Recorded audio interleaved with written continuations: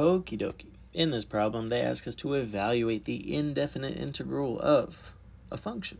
In this case, the function is t to the fourth plus 8 over t. So we are likely using the reverse power rule in this case, as well as maybe something else, and we'll talk about what that something else is. First, we will start with t to the fourth. So again, the method in reverse power rule is adding an exponent, adding 1 to the exponent. So we get t to the fifth, and then we divide by whatever that new exponent is. And just like that, we've taken care of the t to the fourth. Now, moving on to the plus 8 over t.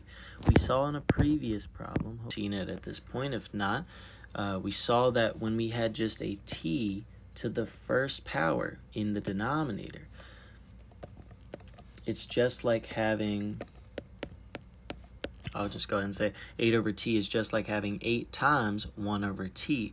So we saw in another example that when we had 1 over t, the antiderivative of 1 over t does not use the reverse power rule because we actually get an error if we do that. We actually get ln of the absolute value of t. So if we think about it, the derivative of ln of t is 1 over t. And so that's why we have 1 over t here. And then the 8 will kind of just float out in front. So the takeaway from this is if you see a just a regular t in the denominator, you will be dealing with just a natural log, or the antiderivative will just be a natural log of the absolute value of that t. If there's a t term in the denominator with any other exponent, say it was like 1 over t cubed, or 7 over t to the 8, whatever. As long as the t has an exponent other than uh, 1, you will use the reverse power rule. But if the exponent is 1 in the bottom, uh, you'll use ln. I, I think I just talked in circles for a minute. I hope that makes sense. So we're looking for this answer. Of course, you have to see it plus c. So we're looking for uh, not this maybe B, not this, and not this, not that. All right, looks like B is our answer when we break out the eraser. Let's go and do two more.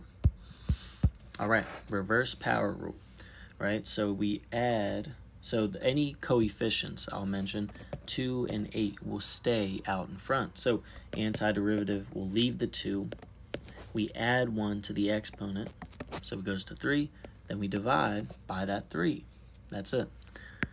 We leave the 8 exponent, uh, 8 coefficient, and then e to the t has an antiderivative of itself. Oh, say, can you see? This is what we're looking for. So, all positive, no negatives, no quotients, uh, not that. Uh, it's very close to E, but not quite. It looks like option A is our best answer. Let's do one more.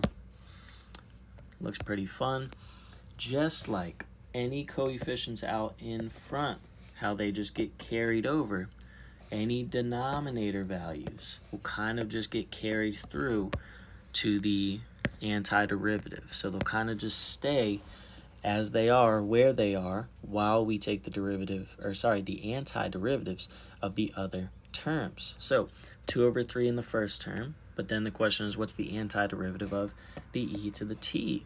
Well, that's just e to the t.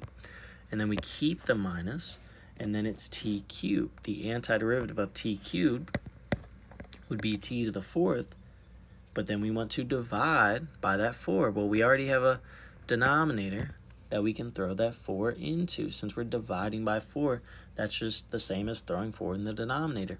2 times 4 in the denominator is 8. Let's say, can you see? We're looking for 2 over 3 e to the t.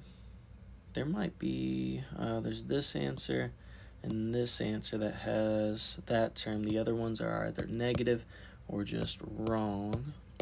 So then we're looking for the minus t to the fourth over 8. So it looks like option B is our answer. I think that was it. If you have any questions, please let me know. Hope this helps.